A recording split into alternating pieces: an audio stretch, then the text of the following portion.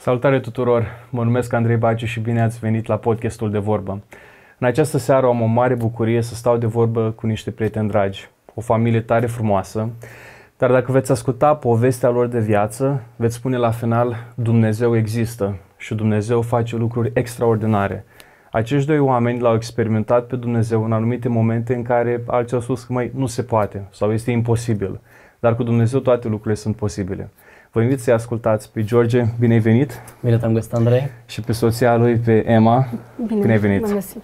Ce faceți, cum sunteți?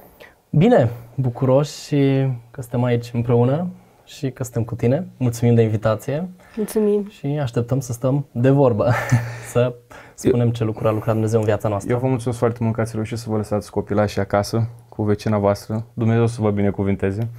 Um, și chiar am discutat înainte de podcast că sunt momente în viață în care stai și te uiți și spui că mă, dacă nu era intervenția lui Dumnezeu, nu se putea face nimic. Dar înainte de a intra în uh, surprizele astea frumoase, m-ar interesa foarte mult cum v-ați cunoscut voi doi. Care e povestea voastră de dragoste? Și să vedem cu cine începem. Te las pe tine. Mă lași pe mine? o să spun eu câteva lucruri din perspectiva mea și apoi zici tu din perspectiva ta. Hmm. Eu sunt un om care povestesc mult, dar încerc să zic lucrurile alea care um, îi dau glorie lui Dumnezeu în toată treaba asta.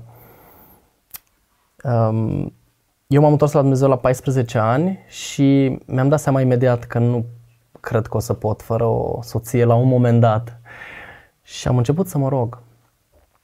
Am început să mă rog zilnic și am ținut post o dată pe săptămână timp de 10 ani pentru o soție. Zic, mm. Doamne, dăm și mie odată o soție, dăm cândva, la momentul potrivit, și cu îi spune, ce, cum adică, chiar te ruga 10 ani pentru soție? Da, 10 ani, în fiecare zi și o dată pe săptămână, de obicei sâmbătă, posteam pentru o soție. De la, de la 14 ani? De la 14 ani. Wow. Și am vorbit cu diferite fete, uh, dar uh, nu a ieșit, că așa a călăuzit Dumnezeu. Și la 24 de ani, exact după 10 ani, uh, uite așa ne-a adus Dumnezeu împreună. Un lucru care merită aici de spus este că eu m-am rugat pentru o soție care să-mi sub... Știu că pe cât de comic sună, pe atâta de adevărat e, așa că se poate zâmbi, se poate râde. Sforă e rău de tot. Îl moștenesc, îl moștenesc pe tatăl meu și um, atât de rău sforă încât a trebuit să mă rog tot timpul, Doamne, dă-mi o soție care să poată... Să mă suporte. să-mi suporte sfărăitul în așa fel încât să nu trebuiască să doarmă într-o altă cameră când o să fim căsătoriți.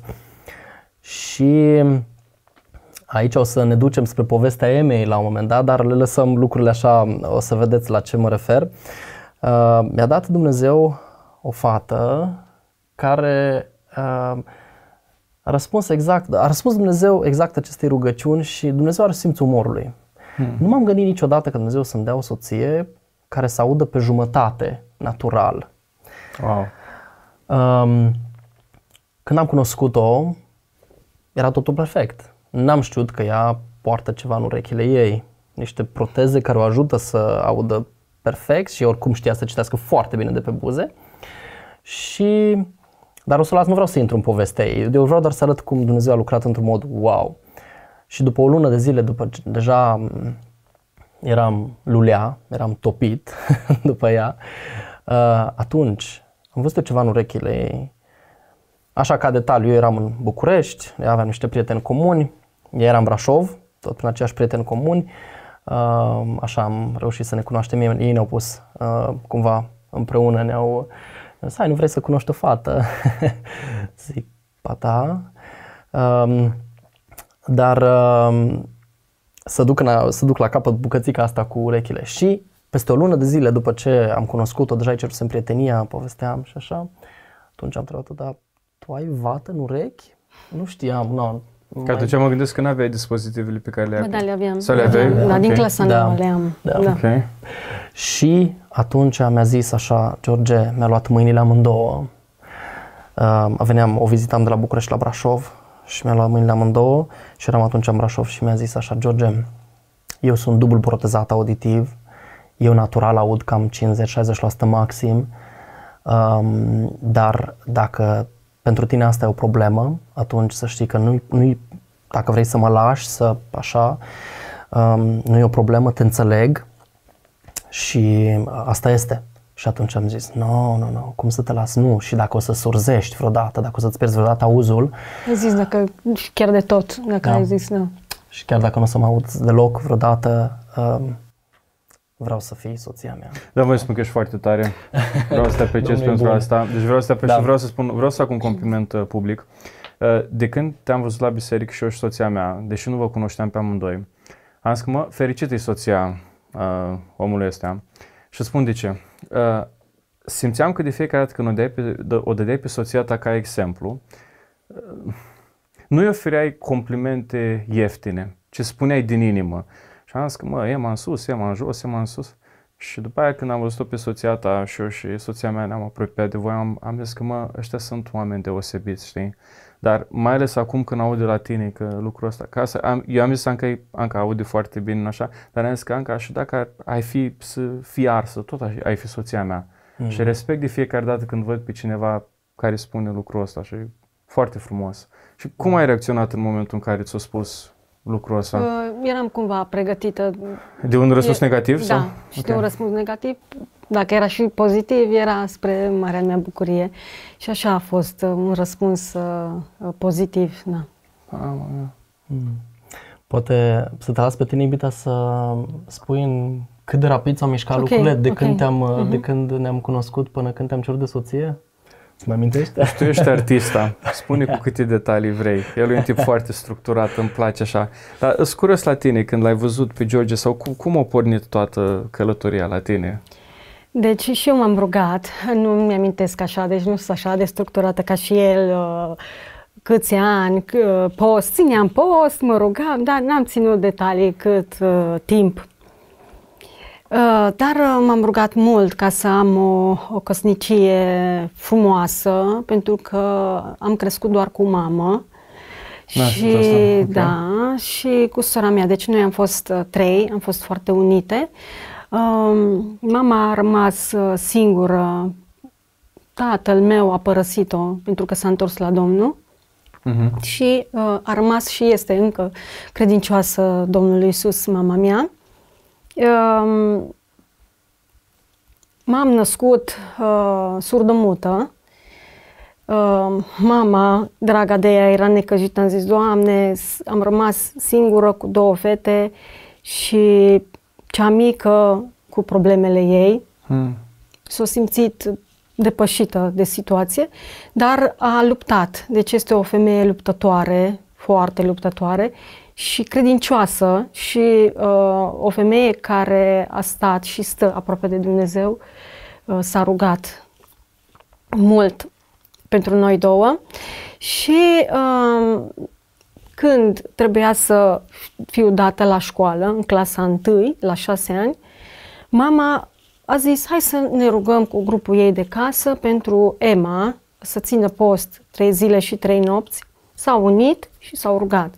Și Dumnezeu a ales, a hotărât să mă vindece, dar nu uh, așa, ci treptat. Iartă-mă, mă, da, o curiozitate înainte de a...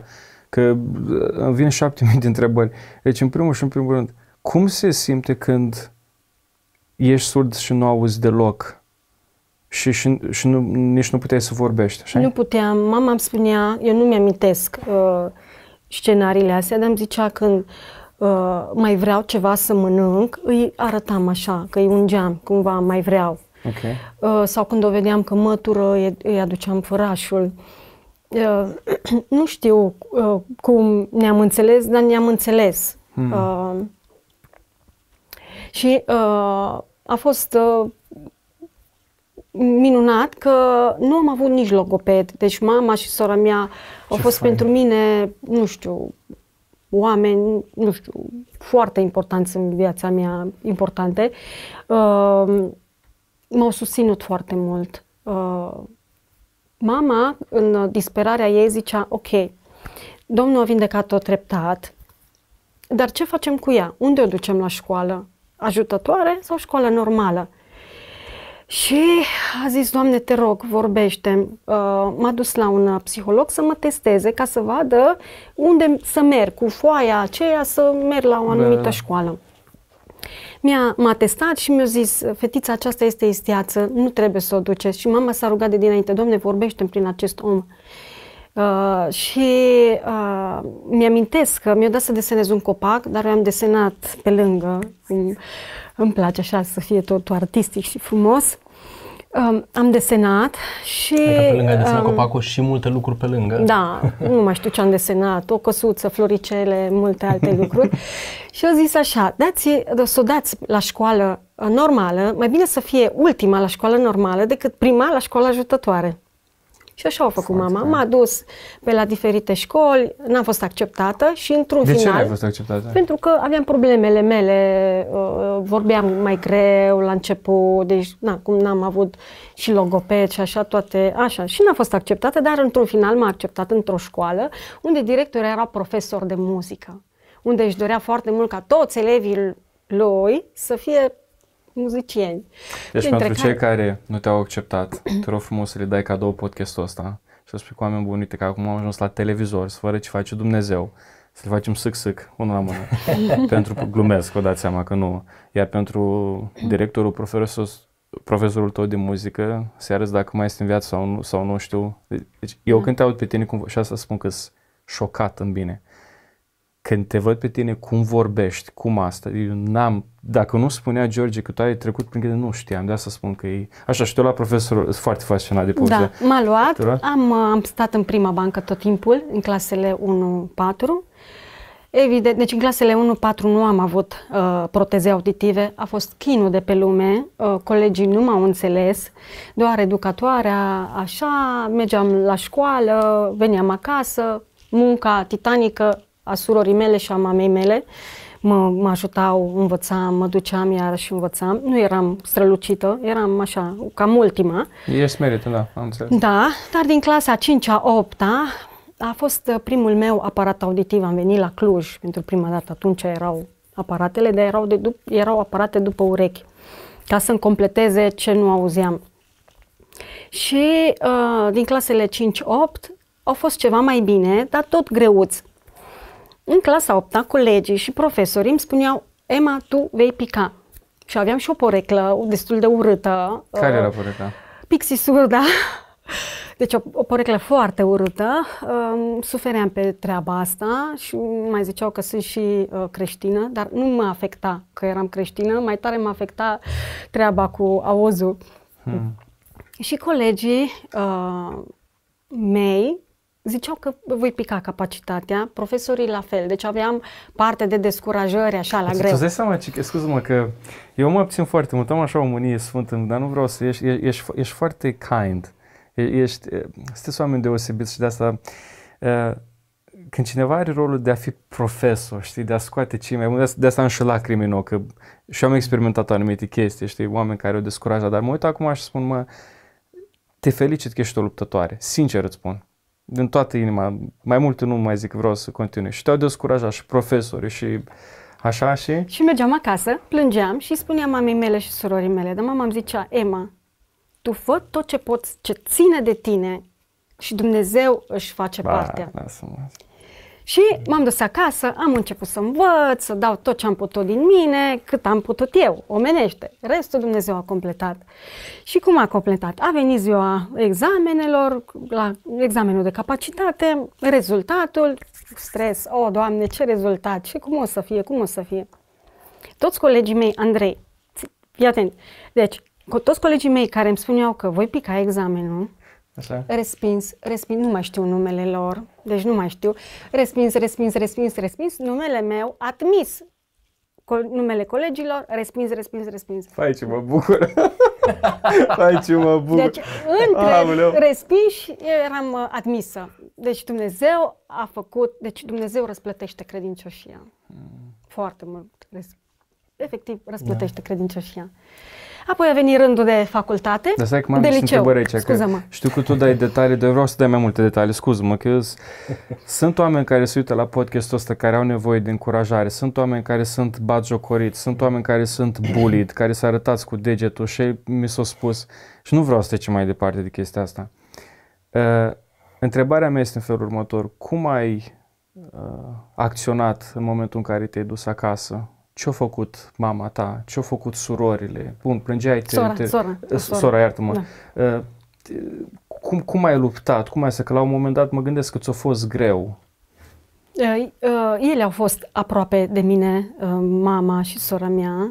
Hai că poți, hai că poți, hai că poți. Deci, uh, Dumnezeu când dă ceva, o încercare, îți dă și oameni în jurul tău ca să poți Și de exemplu să spunem că depășești. nu ai oameni, cum ai încurajat-o acum pe, pe altă fată care să spunem că este la școală și m, colegii râdea și spun că e o proastă?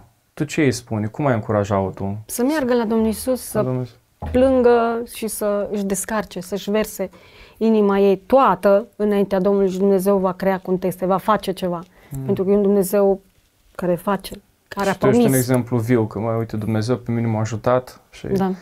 du- ziceai de clasă, după clasa 8 -a. După clasa 8 în clasa uh, anii de liceu, mama au zis, ok, ești domnișorică, acum trebuie să-ți luăm aparat din acelea uh, uh, micuțe care Așa. nu se văd. S-o dat peste cap, o muncit, o, uh, mama a muncit foarte mult, foarte mult a muncit, uh, ca să ne țină pe noi amândouă. Uh, și așa a fost. Mi-a cumpărat apar- prima dată un aparat, apoi celălalt, uh, pentru că cu un aparat nu făceam față, că mă striga Emma și mă uitam din alte părți, că nu localizam de unde vine sunetul. Mm. A venit și al doilea, bucuria mea, a fost frumos la, la, la liceu. Învățam, nu eram foarte strălucită, undeva pe la mijloc așa, dar îmi dădeam tot ce puteam uh, din mine să învăț, uh, tot așa, să fiu credincioasă în lucrul meu, lucrul încredințat mie. Uh, și a venit, uh, deci m-am descurcat, a fost bine și am dat la facultate. Au venit anii de facultate, uh, Dumnezeu m-a ajutat uh, cumva să facă lucrurile slabe, să le facă tari. Așa lucrează Dumnezeu într-un mod deosebit. M-a ajutat să fac două facultăți. Mm. Și Profil medical, uh, Profil ca să medical am tot Tu ai Totuși o, făcut. să- ai o comoară în familie. Așa e. Deci e- ești un tip foarte inteligent. Dacă mă uit la soția ta, înțeleg de ce o iubești așa de mult. Deci, sincer. Și mai este, mai este un lucru ca să întăresc ceea ce spui, că Dumnezeu de multe ori folosește lucrurile mici și nebăgate în seama Mhm. lumea asta, ca să le facă de rușine pe cele mari cele și care mari, sunt exact. secretari. Și, wow.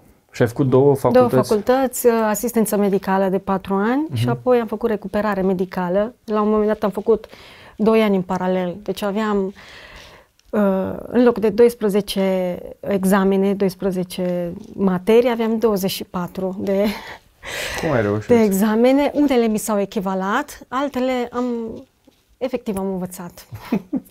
adică am făcut cu credincioșie ce am, uh, ce am putut. Și apoi a Bine, nu venit vreau să momentul... fiu acum rău, dar stau așa și mă zic, uite, vorba aia, fata, p- nu mai spun porecla că e stupidă, Da. dar uite, e, fata aia care nu va trece de clasa 8 nu numai că a trecut mai departe, știi, au făcut și două facultăți Exact. și Și nu ușoare. Ușoare. Păi da, eu știu la mama mea că a făcut medicină. Uitam, au făcut și farmacie, stătea, avea pentru examene, așa erau cărțile de, de mari, stătea lucra, avea grijă și de noi și după asta se ducea nu orice facultate, dar cred că Dumnezeu onorează pe omul care îl onorează pe Dumnezeu. Și tot așa am avut model în spate, sora mea și ea tot două facultăți au făcut uh, și tot pe partea medicală. Ea acum este medic uh, și nu știu, Dumnezeu, Mama ta și Deci eu- sora ta sunt în viață? sunt, sunt, sunt, sunt. Te rog frumos să le inviți, vreau și pe ele să le am ca invitate la De Vorbă Podcast. Deci ar fi o mare bucurie, spun sincer. Îi, uh, da, vorbim după podcast mai multe. Deci sora ta a fost uh, model pentru Uh, tine? Da, șase ani mai mare decât mine. Uh, da, deci a fost, mi-a fost, adică soră, mamă, frate, tată, deci a fost așa o... Fine. All adică- in one. Da. Da. Și Dumnezeu a lucrat, deci are oamenii lui cu care să lucreze și foarte interesant cum uh, că ajungem la partea cum ne-am uh, cunoscut. A fost o dorință Adică Uite, am ce dintre scuze, una. N-aș vrea să te întreb, dar, dar aș vrea să menționez medicii, ce, deci Da. pe unde am mai umblat, uh, la diversi medici, în vizită cu diferite consultații, cui mai spunem povestea ei și spunem că a fost surdomută și nervul auditiv efectiv nu funcționa și dintr-o dată, după 6-7 ani, începe să audă. Deci, Zici cine că este zice Că imposibil. este incredibil și imposibil. Zic că povești, da? Da, și atunci a folosit momentele la care să spunem, da, da, Dumnezeu, la Dumnezeu se poate. știi? Și încă un lucru tot aici să mai menționez, un lucru care l-a moștenit și care o ajută și acum, când e în biserică, vede de la câteva, câțiva zeci de metri și dacă, și dacă nu aude bine, citește perfect de pe buze. Asta mi Sau se de după pare, geam, da. iartă-mă, asta mi se pare o supraputere. Deci eu am fost fascinat de când am fost mic de uh, benzi de însenate, comic books, uh, Spider-Man, Batman, Mhm. toate astea. Dar asta mi se pare o supraputere. Deci, să să stai la cafenea, să vezi pe cineva cât zâmbește. Înțelege perfect. Deci, Da. E ar, chiar, putea, ar putea să angajeze la SRI. vreau să spun o chestie. Dacă odată ieșim cu toții în oraș, vreau să facem chestia. Ce, zice, ce zice ăla de acolo? Glumesc, Zic. dar, dar mi se pare foarte... Asta a fost modul ei de a înțelege, practic, știi? Da. Până să, ce a să început citești să, pe da, buze, da, mi se Da. pare... Da. Wow. Scuze că te-am întrerupt. Dar nu, nu, ai, ca să înțeleg, aici nu, nu, nu există întreruperi. Deci vorbim, Ok. okay. stați da. liniștiți că de asta spun că de multe ori noi putem să avem impresia că facem o poveste, scoatem detalii, nu. Hai să spunem ce vă aduceți aminte că e, că e, că e important. Și continuați Mhm. ideea cu cum ziceai de George. Așa, uh, când uh, a fost, uh, ca să, așa, și mă rugam pentru un soț pe parcurs, uh, la liceu, la facultate.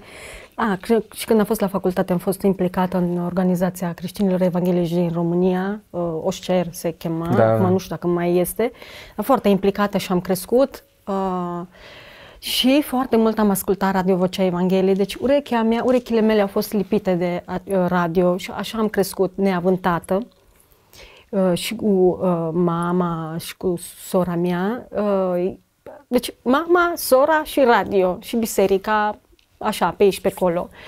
Uh, am învățat despre familie din Biblie, cântări, foarte mult. Uh, m-au ajutat și radio uh, foarte mult. Am învățat despre, auzeam diversi frați, surori care vorbeau despre căsnicii și așa și mă rugam, Doamne, dă te rog, un soț care să mă iubească și să, să lucrez împreună cu el pentru Domnul. Deci mi-ai ridicat mingea la fileu și spui așa de multe învățături frumoase că nu pot să trec peste ele. De obicei, fetele care cresc fără tați se vede că o iau în direcții greșite și se vede că le lipsi ceva din viață. La tine nu se vede lucrul ăsta.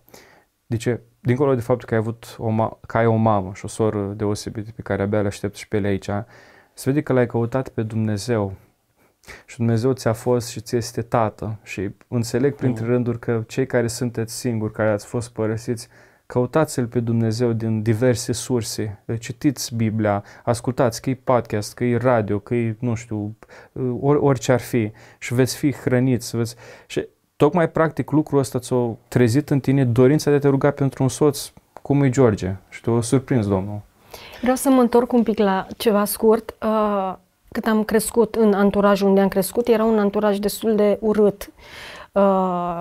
Uh, cu băuturi, cu fete, băieți, se știe, adică așa. Dar mama s-a rugat foarte mult pentru mine ca să stau, să-L caut pe Dumnezeu. Și așa a făcut Dumnezeu atât de minunat să nu gust nimic din ce a fost acolo. Le-am văzut, le știu, am văzut așa, dar n-am gustat nimic. Și am ales să merg în biserică, să caut, mergeam la seriile de tineret și mă agățam de ce aveam. Pentru că am văzut pe Dumnezeu cum. Și la uh, 18, nu, la, uh, da, în anii de uh, liceu, în clasa 12 m-am uh, întors la Domnul. Uh, I-am zis Domnului că îi dau inima mea Fantastic. și a fost în data de o zi de conferință, în data de nașterea zi- surorii mele. Mm. Așa s-a nimerit. Poate aici ar merita să zic că uh, ne-am învățat toate detaliile, uh, dar um, ea mi-a mai spus, da, că o chemau jos la băut, Exact. o chemau jos, uite, hai să te săruți și tu cu ăla, hai să te săruți cu aia și Exact. pe atunci, din fericire, um, hai și tu la o țigărușă, hai la... Um, Apreciez foarte mult că sunteți transparenți, by the way. da, ar, foarte mult am zis că apreciez. contează ca să ajutăm și pe cei care trec poate pe acolo. Pentru că spun care e, care e preconcepția foarte scurt. Mă uit la voi, sunteți perfecți, arătați perfect și perfect în termenii ăștia. Mhm. Nu mi-am imaginat vreodată că ați, ați fi venit din contexte din astea, sincer vă spun. Și de asta vreau să da. fie o încurajare pentru cei care se uită să spun se poate. Da. Deci se poate, dar continuați. Și aici poate aș spune, atât de mult o apreciez pe mama, mama soacră, pentru că a fost o femeie a rugăciunii și m-a accentuat lucrul ăsta, dar și eu ca uh, ginere, aș putea să zic, apreciez foarte mult, pentru că mama ei nu putea să țină în control, ea trebuia să fie și mama, ea trebuia să fie cumva cel care era providerul, trebuia să aducă bani acasă și muncea foarte mult, cum a spus Emma, dar ce a știut să facă, s-a rugat mult, mult ca Dumnezeu să le păzească mult. pe fete în curăție, că ele, exact cum ai spus Andrei, ar fi dus să se răzbune pe Dumnezeu. Doamne, de ce nu avem tată, de ce suntem singure? Și Dumnezeu le ținut. A spus, nu, nu, nu, nu acolo, nu. Hai să încerci tu, hai să un pic să mergeau și efectiv își dau jos ca să-și arate unele, al, unele alteia, În fața blocului, deci acolo. Da, și a spus, nu, nu, nu, Aia a fost puterea lui Dumnezeu și puterea rugăciunii. De asta încurajăm părinții să se roage puternic pentru fain, copiilor. Doctrina fain. e bună, teologia e bună, trebuie să dăm cuvânt copiilor noștri, dar cred că în egală Modelul. măsură predicăm o oră sau le spunem la copii o oră din cuvânt, o oră să ne și rugăm pentru ei. Uite, asta am apreciat mult la tine ca fapt divers. Mi-ai trimis câteodată uh, poze cu voi când vă rugați cu copii uh, la biserică, când povesteai în față că mă strâng cu familia, ne rugăm pentru unii, pentru alții. Dincolo poți să studiezi Biblia și sute de cărți de teologie, dar dacă nu se vede în viața ta un lucru că, băi, uite, asta facem noi ca familie, să fie un obicei ca ai voștri copii să vadă mai departe, e egal cu zero și mm. vă apreciez mult pentru, pentru lucrul ăsta. Și... Domnul să fie slăvit pentru toate mm. astea. Deci ai trecut prin, uh, ăsta a fost mediul da, care Da, da, deci a fost un mediu, uh, dar nu am gustat. Deci, și îmi dau seama că a fost rugăciunea uh, mamei hmm. și am model asta trebuie să mă rog și eu pentru copiii mei, ca să nu guste nici ei din uh, lume. Hmm, ce fain. Care mai sunt alte detalii, George? Că văd că tot scoatem, tot scoatem. Uh, legat de Emma nu mai știu alte detalii, cam asta mi-a spus și... Mă interesează de viața ta. A, de viața mea, de că viața ea ta. nu a ajuns să spună cum o cunoscut pe mine, dar lăsăm. o sper să spui și tu. Uh, ar fi foarte fain de menționat cum am cerut-o de soție, ala iarăși un, așa acolo Dumnezeu se vede. Dar cum a răspuns la rugăciune, da. exact. Dar uh, să spun un pic despre viața mea, eu am crescut într-o familie uh, din Botoșani, uh, familie ortodoxă, cu niște părinți care încercau să fie credincioși, să meargă la biserică, uh, dar în același timp ne lăsau pe mine și pe sora mea uh, să nu ne țineau, mai să știi că sunt acele genuri de familii care spun tu nu te duci într-o biserică alta decât asta. Părinții au zis, vreți să vizitați, vizitați. No. Eu am gustat până la, până la 14 ani. Um, am fost un copil răzvrătit și plin de răutate. Pot să spun asta fără să exagerez nimic. Până acolo încât de la etajul 4, le spun copiilor mei, aruncam uh, etajul 4 plus 2 de mezanin, imaginează etajul 6, luam roșii și aruncam în femei care erau îmbrăcate cu bluze albe, care treceau prin fața bluze. Eram în centrul Botoșaniului și pe acolo trecea toată lumea, știi? Mă conta, mă băgam, mă ascundeam, după aceea luam pungi umplute cu apă, le legam și aruncam în oameni. Cartofi, deci așa mi se părea mie distractiv. Știu că deci e... vine să râd că ai și un stil foarte comic de da, povesti, deci, e, dar e rău. Deci, deci nu... Da, corect. Deci într-un fel mă uit la lucrurile astea, zic, Doamne, cât de rătăcit eram. Pentru că asta le făceam și eu. De asta. da. Deci într-un fel e comic pentru că uite-te ce rău ne-o prostit cel rău, diavolul. Deci eu da. n-am ajuns la nivelul să arunc roșii, dar apă, aruncam da. și eu puci cu apă. Da, mergeam, mergeam la, la colegi, la, la școală cu, cu colegii și uh, din cele mai rele lucruri, poate luam un coș de gunoi, știi cum erau coșurile de gunoi uh, cu găurele, da, uh, că da. Se, erau foarte ușoare, le luam goale și mergeam, nu, erau fetele, noi eram deja în clasa a 6 a 7 și mergeam pe hol și le puneam în cap. Îți dai seama pentru o domnișoară în clasa a 7 care deja da, da, da, da, da. ci făceam demnității. No, asta eram eu. Mergeam la profesor și le spuneam, uh, scuzați, n-am reușit să-mi fac temă și fața aia despășită, așa, știi, actor. Ce mă întorceam și le ziceam la colegi, prostii și pe ăsta, știi? Și Manipulator. Așa. Uh-huh. Da. Uh, după aceea m-am bătut cu un coleg și știam că eu sunt vinovat, știam că eu i-am dat și pe aceea colegul ăla să uite că m-a bătut și profesoara de franceză a venit și mi-a tras una cașna. Se practica acum mulți ani în urmă treaba asta, mai își permiteau profesorii. Și am întors și spuneam, nu el, nu, că îl chem pe tata de la servicii, tata nu știu cum. Deci atâta minciună și a ajuns profesoara să-și ceară iertare de la mine. Vai, da, îmi pare rău, dar totul manipulare, manipulare draconică, da, urâtă. Da, da, da, da, da. da? Asta eram. Mergeam în discoteci, am fost în rocotecă, um, am gustat și din lucrurile alea. Um, am umblat cu fete, um, am făcut și lucruri care nu ar fi trebuit să le fac. Dumnezeu ne-a ajutat să ne uh, căsătorim în curăție pe partea aceea, deci cumva să... Dar din nefericire am ajuns să mă sărut cu alte fete înainte de căsătorie, deci ăsta am fost uh, până la 14 ani. Dar sora mea a fost într-o zi la, într-o tabără Um, și apoi a mers, Dumnezeu a transformat inima. Povestea ei e mai lungă, e în Australia acum, povestea e mai lungă și mai complicată a fost viața ei. Um, Dumnezeu a făcut o transformare extraordinară și în viața ei. Și am fost în Biserica de Creștini pe Evanghelie din Botoșani. O biserică plină de viață atunci, o biserică cu 500 de oameni. Wow. Sentimentul ăla când am intrat acolo, mi-a spus, hai și tu, hai că ce ai de pierdut. Din momentul în care am intrat acolo am știut, aici e prezența lui Dumnezeu avea un pian, o chitară și biserica răsuna parcă ziceam că sunt în cer. Atât. Din cântările alea, you know? cântările alea din cărțile roșii. Atâta bucurie și așa prezența lui Dumnezeu am simțit încât am știut că eu nu mai plec de acolo. Am început să citesc Biblia. Era mai fain ca în rocotecă. Oh, nici nu se compara, nici nu se compara. Um, ideea e că atât de, atât de clar a lucrat Duhul lui Dumnezeu în viața mea și știu în anul ăla, în 2000, în anul 2000, da, sunt 23 de ani. În anul 2000 atunci, septembrie, octombrie, noiembrie, că știu că atunci când te întorci la Dumnezeu zici că te întorci de mai multe ori, că nu știi exact data. Dar Dumnezeu a făcut o transformare autentică. Din, deci l-am chemat pe Hristos în viața mea, mi-am văzut toată murdăria, tot păcatul și toate prostiile pe care le-am făcut și ascultările de părinți și um, răzvârtirile și toate relele alea, înjuram foarte rău. Dar nu pot să cred, scuze deci, mă, că spui povești, nu pot să cred așa. Asta îți face Hristos în viața unui om care e transformat autentic. Să... Deci înjuram atât de rău, atât de stricat, atât de spurcat înjuram, de extraordinar. Dintr-o dată, Um, Dacă să înțeleg, când înjurai, înjurai de nervi, că te enerva sau pur și simplu ca din orice, de din orice. Deci îmi plăcea orice. să, colegii au avut o influență mare, voiam să fiu băgat în seamă.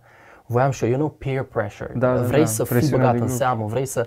Și atunci ca să fiu ca ăia care sunt bine băgați în seamă, ah, mă băgam cu haine strâmte, ca am făcut, făceam culturism, și îmi plăcea să mi se vadă tot, pectoralii, tot să, îmi plăcea să, și aici strâm, și aici strâm, știi, ca să arăt, să, no. ciudat, nu? Ciudat uitându-te în urmă la un bărbat, un băiat de 14 ani care să facă lucrurile astea.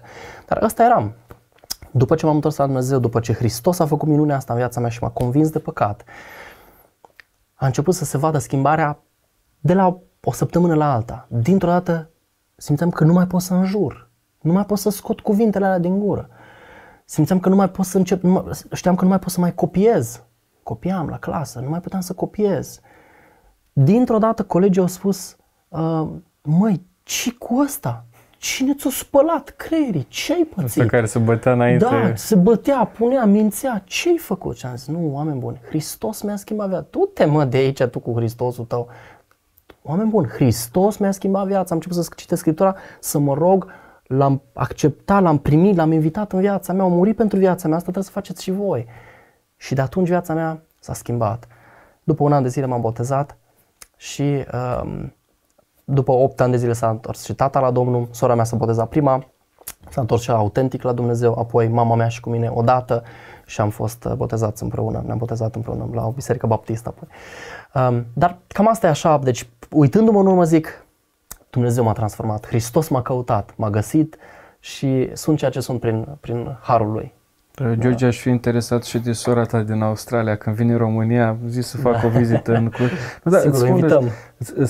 Sunt atât de fascinat când aud. Uh, de ce te-am întrebat de faza de înjurături? Pentru că personal n-am avut problema asta. Uh-huh. Eu eram, eram rău de gură, dar nu juram, nu știu, nu, nu m-a atras. Uh-huh. Uh, dar știu că cineva care, de exemplu, înjură zi de zi sau on a daily basis, um, când, când îi vine și când îi tuni, e foarte greu să se lase. Și am auzit oameni care s-au întors, cum, cum ești tu, și asta spun că tu ai încercat, de exemplu, să te lași de înjurat prin forțele tale? Nu, vreodată? efectiv, deci este ca și cum, știi, ca și cum tu vrei să transformi un lup în oaie sau oaie în lup. Pune unui, pune unui, unui miel, pune în față o bucată mare de carne. O să se uită că îți bați joc de mine sau îi pune o bucată mare de iarbă, un, așa unui lup. Numai Duhul Sfânt poate să trans. Exact asta am simțit. Mi-a schimbat natura din lup, m-a transformat în miel. Plastic vorbind. Nu, nu, Efectiv, înțeleg, înțeleg, am simțit înțeleg. că nu mai puteam, nu mai, nu mai puteam să mai bag țigara în gură. Nu mai, you know? Deci chestia aia care o face numai Duhul Sfânt, Erai un- nașterea din nou. Erai un fumător heavy? Adică Nu, fum, nu fumai eram heavy, eram ocazional, Ocazional. dar da. Dar ți-a fost greu să te lași? Și a fost intervenții divine? Sau nu a fost asta cea mai grea Poate chestie? nu a fost asta cea mai grea. Dar faza cu Dar înjurătura... nu mai plăcut, nu mai vrut să mă duc acolo, îmi plăcea să beau. Serios? M-am, m-am bătat de câteva ori la, până la 14 ani. Hmm. Îmi plăcea să mă uit după fete, să umblu cu ele, să mă sărut cu ele. Am făcut lucrul ăsta. Din momentul ăla, puh, ca și cum a apăsat pe un buton. Duhul Sfânt a făcut bine. Au fost bătălii, uh, în sensul bătălii când spun, uh, na, poate am mai văzut o sticlă de vin și am știut, aleg să nu. Dar a venit puterea din Duhul Sfânt, din Hristos, care mi-a transformat viața. De asta când mă uit acum la copiii voștri, ei au intrat acum pe o moștenire foarte sănătoasă. Gloria lui Alegerile Iisus. părinților care au fost schimbate de Dumnezeu. Vă, mă uit la copiii voștri, copii fericiți. Dați seama, când ai copii mici, știu să stânga în dreapta, îți cauți, să te uiți la un model, la un alta și uh, Dumnezeu să fie lăudat. Amin. Și nu spun Amin. asta ca Doar un lui. cuvânt de lemn, dar Doar lui. lauda nu este a noastră. Absolut. Da, noi alegem, dar Dumnezeu este Cel care ne dă putere, ne dă înfăptuire. Sunt foarte impresionat, nu știu, um, în ultima perioadă tot aud foarte mulți oameni care s- au probleme cu alcoolul. Um, că sunt oameni de rând, că sunt oameni în poziții și genul, în poziții înalte și genul de lucru cu care poate îl ascunzi acasă. Dar vine un moment, dacă nu te lași de lucrul respectiv, uh, e ca monstrul ăla, știi, care crește, suprește, crește, crește și după aia capătă învergură și, și rău. Și nu știu, wow. Um, amândoi am decis, oricum, um, nu credem că a bea alcool este un păcat. A te îmbăta, credem că este un păcat, dar noi am ales, tocmai pentru că a fost slăbiciunea aceea în trecut, am ales și pentru viața noastră de familie să scoatem de tot și chiar m, Foarte la, înțelept, la foarte ocazii înțelept. încercăm nici să nu gătim. Din nou, nu încuraj, adică nu zicem că, domnule, cine are alcool în casă e păcătos. Nu, dar tocmai pentru că venim dintr-un astfel de mediu și noi și tatăl ei și tatăl meu, am ales. Deci am făcut un pas în plus. Da? Hristos ne-a schimbat viața și ne-a dat lumina să alege, să facem și alegerea asta. Credem că pentru noi e bine ca familie. Pentru voi și pentru alți, pentru Da. mulți alți oameni, când îți dai seama, dădea cineva o imagine foarte interesantă. Măi, tu poți să ai toate țiglele pe casă și poți să fii inteligent și așa mai departe. Dar dacă copilul tău pune odată gura, știi, uh, când tu nu ești acasă sau ca și cum ai avea un șarpe cu clopoței și cu venin în, în, în buzunarul drept. Eu știu că e acolo, dar pune copilul tău mâna acolo și mușcat. Da. A, a, și vreau să împărtășesc cu voi același. Asta este decizia pe care și noi am luat-o în casa noastră. Deci nu avem. Da. Alții pot să râdă, pot să... asta decide, scapul familiei, da. soția mea e- ascultă, face la fel. Uh, am putea să vorbim pe subiectul ăsta mult, dar Da. mă interesează cum l-ai cunoscut pe el sau cum... Că asta era Da, detaliul. așa am ajuns, da. Da, Eu m-am rugat, deci cum am zis, uh, nu mă rugam așa structurat, Uh, m-am rugat pentru el și am avut o listă, mi-am întemeiat așa, o- mi-am întocmit așa o listă Și eu mi-am făcut. Da? Nici nu mă așteptam să nu o listă. Deși n-a fost, uh, adică f- foarte organizat așa, uh, deși mi-a făcut o listă și i-am dat această scrisoare Domnului și am zis, Doamne, mi-ar plăcea ca uh, viitorul meu soț să fie credincios în primul rând, să-L iubească pe Domnul, să termine uh, facultatea de la Oradea la Emanuel, să fie înalt, Ai făcut uh, frumos, facultatea la Emanuel? Mhm. Ok, bun, da. să fie înalt, frumos, să poarte ochelari, să um, Eu le știu. să, E um, baptist. să fie baptist, da, să fie din biserica baptistă, pentru că uh, eram dornică și sunt dornică de a citi din Biblie, de a scormoni, de a lua fiecare cuvințel din Biblie și să... Adică un om care să studieze cuvântul, să fie un om care îl caută. Am înțeles. Da, Mhm. da, da. Și um, să aibă o meserie care să fie la costum. Tu îți dai seama cât de detaliat s-a rugat. Așa și, să zic așa, să las șirea așa de pe tort, um, a fost așa o rugăciune, nu i-am zis nici surorii mele, nici mamei, nimic, doar Domnului, o rugăciune uh, să-L cunosc pe viitorul meu soț prin sora mea. Mm. Și așa a fost, sora mea cu o prietenă de ei, au cochetat, au întrebat. uh, Prietenă comună, cealaltă și cu mine. Da? Da, uite, uh, prietena comună a întrebat, uh, a întrebat-o pe sora mea, vorbește cu vreun băiat, că mă duce gândul la un băiat, adică la George, uh, să-i facem cunoștință. Și am zis că, sora mea a zis că nu vorbește cu nimeni. La momentul ăla nu vorbeam cu nimeni. Și așa au luat legătura cu George, lui uh, i-a arătat o poză, sora mea m-a întrebat, vreți, vrei să vezi poza cu băiatul? Și am zis, nu, nu, nu. Uh, Vreau să-l văd pentru prima dată, așa, Ce live. tare, ce tare. Și l-am, uh, l-am văzut prima dată live la un uh, la uh, prietena comună uh, din București la uh, jocul meu preferat, uh, la Catan. Da. Pe așa ne-a cunoscut prima dată. Și eu am avut lista mea. Uh, Eu am zis, Doamne, să fie subțirică, înaltă, cu ochi albaștri, pe bune. Am zis, Doamne, cu ochi albaștri mi-ar plăcea, dar poate să fie și altă dar în special să fie cu ochi Și albaștri. aici vreau să intervin puțin, că chiar ne-ai pus seama.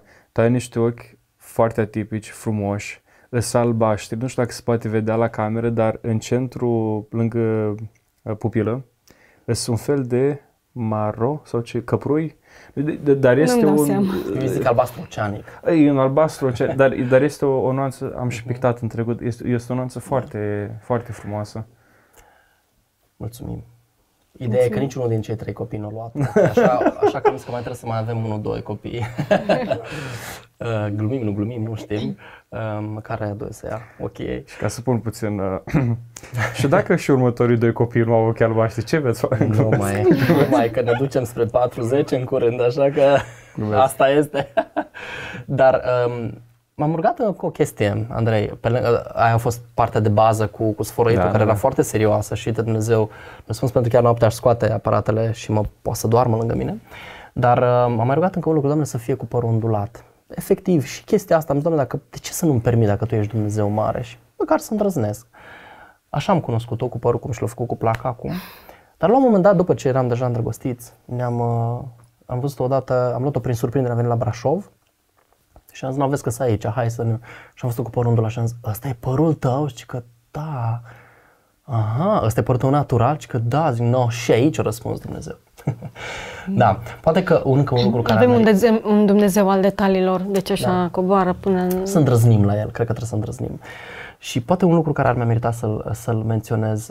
Um, pe genunchi m-am rugat, um, Wow, da. Pe genunchi m-am rugat, Doamne, cum să o cer de soție? Nu-mi place chestia în care să îngenunchez în fața unei Chiar asta femei, era știi? una dintre întrebări. Cum Deși era? nu-i plăcea, dar eu m-am rugat, Doamne, fă ca viitorul meu soț să nu mă ceară de pe genunchi, așa, că nu sunt... Cine se în- apleacă, se îngenunchează, e în fața lui Dumnezeu, nu în fața mea. Eu n-am niciun merit, niciun drept să se aplece. Asta era dorința mea, că sunt, știu că sunt băieți care uh, cer viitoarele soție în modul acesta, dar eu, pentru mine așa, nu am vrut Iar să eu fie. nu am știut că așa gândea. Dar știam că îi plac caii. Și atunci Te-am m-am rugat călărit. și m-am rugat Și pe familie Baciu, Da. da. foarte deci. Și atunci m-am Iubim pus pe caii. genunchi și am zis, Doamne, oare cum să o cer de soție? Mi-a dat Dumnezeu lumină atunci pe, uh, cred că a fost călăuzire, efectiv, chiar vreau să fie ceva deosebit. M-a luminat Dumnezeu să o cer de pe cal, ea pe cal, eu pe cal și în fine am pus acolo Și pentru într-o prima cutie. dată s-a urcat pe cal, deci avea emoții Da, Serios? Da, da, Bă, da. da, să știi că este un lucru de apreciat, Da. pentru că cine nu, nu știe, în fine. Da. no, și a fost, uh, a fost ceva wow. No, și acolo cumva am scos dintr-un, uh, dintr-o cutie de, cutie de bomboane ei preferate, de mm, 7-8, hmm. dacă știi, tabletele mă, cu mentă.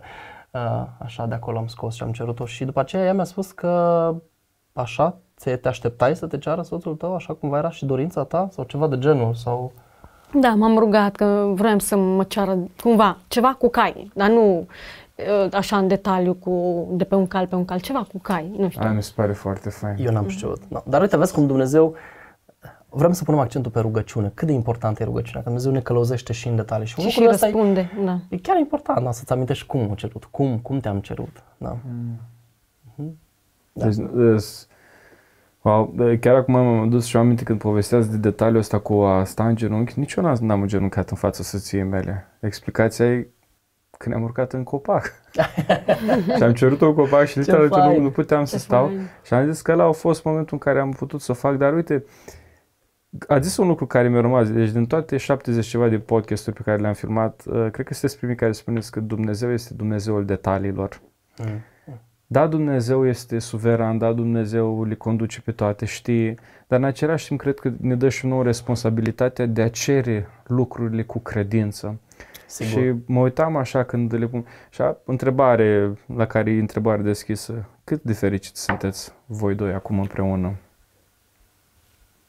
Suntem pentru că îl avem pe Hristos în mijlocul familiei noastre. Unde este Hristos, e lumină. Mm. Unde nu e Hristos, e întuneric. Ce înseamnă asta pentru cineva care se uită cum e ca unde e Hristos, e lumină, unde nu e Hristos, mm. e întuneric? Ce, ce înseamnă pentru voi asta? că îl implicăm pe Dumnezeu în orice uh, aspect. detaliu, aspect, întrebări, uh, tot. Da. În orice.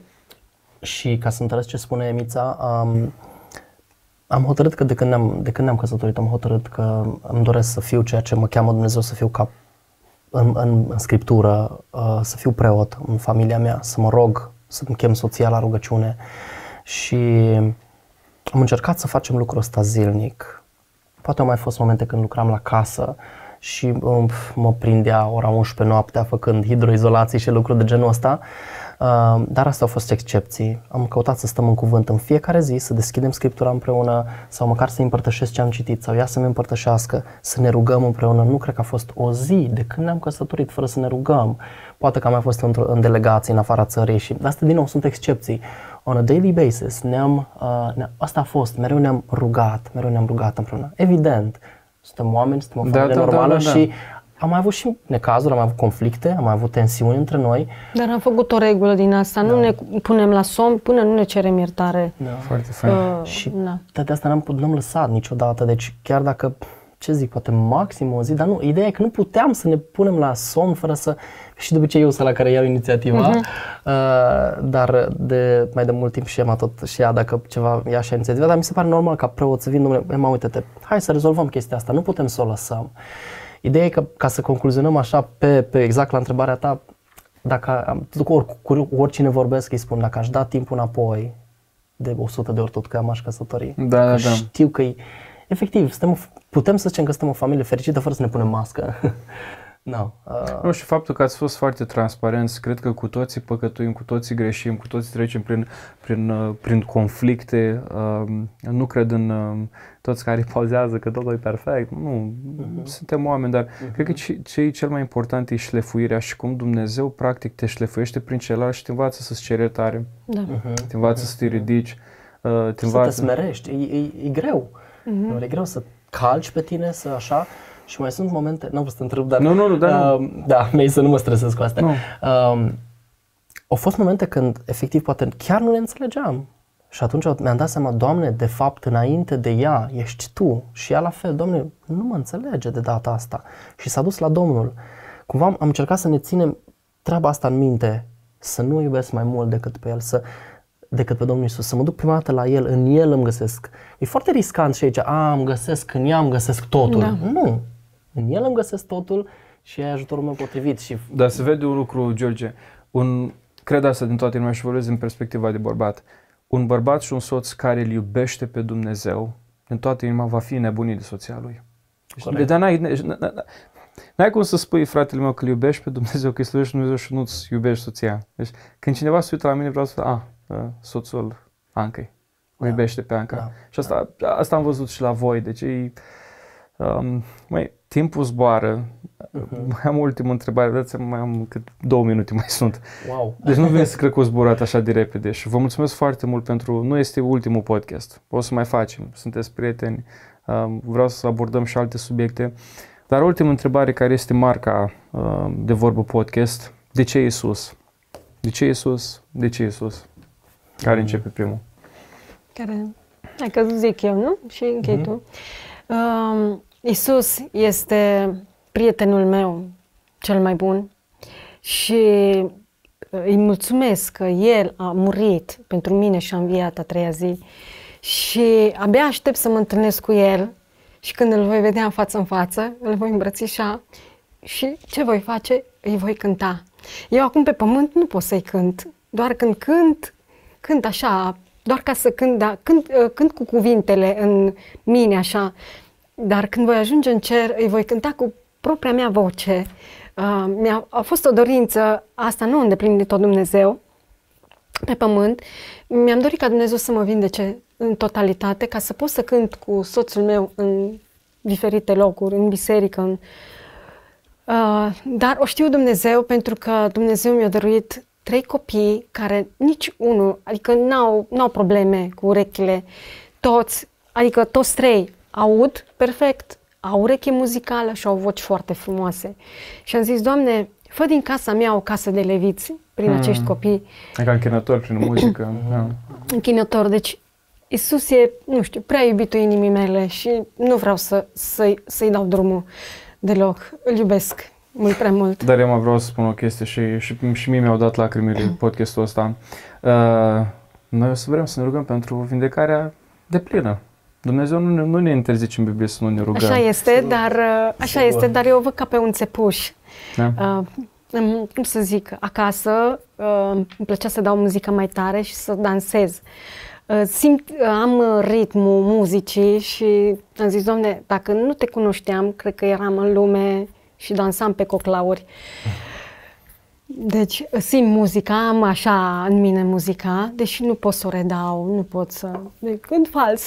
Păi ne rugăm, da. nu, deci ascultă-mă, e, e bine ca să cânti pentru Domnul și ne rugăm în continuare și mulțumesc pentru tot ce ai împărțit, am împărtășit cu noi, e, e wow. Uh, George, câteva de ce secunde. Iisus? Um, fără el eram un ratat. Mi-a schimbat viața, mi-a dat o soție extraordinară. Slavă Domnului! L-am experimentat de atâtea ori în rugăciune, mi-a dat trei copilași minunați. Um, ne-a dat daruri ca să putem să dăm și altora bisericii, să zidim Biserica lui Hristos. Și dacă o să ne îmbolnăvim, și dacă o să avem cancer, și dacă o să avem orice, am zis, noi rămânem lângă El, orice ar veni, pentru că îl iubim nu pentru ceea ce ne dă, ci pentru că e El, Mântuitorul nostru, pentru că e a mers să ne pregătească un loc și pentru că ne-a scos de unde eram. Hmm. Da, merită cu Isus, merită. Ce mărturie puternică. Domnul Iisus să vă binecuvânteze. Mulțumim, Ema, Amin. mulțumim din și suflet și ta. vă aștept și cu altă ocazie la un alt episod. Um, dragilor, ce putem spune mai mult decât Dumnezeu este Cel care este în control. Dumnezeu este autorul miracolelor. Cel mai mare miracol pe care poate să-l facă Dumnezeu este să ia un om care este mort în această lume în păcat, să-l aducă la viață prin Isus Hristos și după aia să trăiască ca un sfânt, că asta ne promite Biblia, că se întâmplă cu cei care cred în El. Dar dacă ești acasă, dacă nu cunoști pe Hristos, predă-ți viața că El te așteaptă. Dacă ești bolnav, roagă-L pe Dumnezeu, poate să te vindece. El e autorul, știi cel mai bine. Eu am fost Andrei Baiciu și vă aștept și data viitoare la un alt episod de Vorbă Podcast. Până atunci, toate cele bune!